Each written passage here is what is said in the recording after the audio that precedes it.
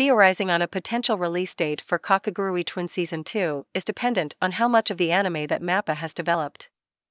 As previously noted, both seasons of the main Kakegurui anime had 12 episodes, but Twin only released with 6.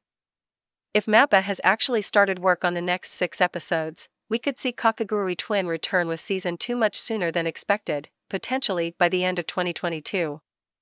If not, there is a good chance that the anime could be temporarily shelved because of MAPPA's already hectic production schedule.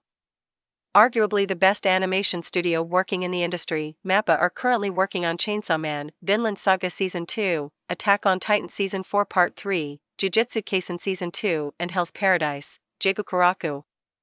Compared to these series, if MAPPA were to prioritize their production schedule, we doubt that Kakegurui Twin could match any of these titles and would likely be put on the back burner. Hey guys, this is Gansham. Welcome to WTN Anime. If you want to more update regarding animation TV series, then like our video, subscribe our channel and share with your friend and family. We daily upload 3 to 5 videos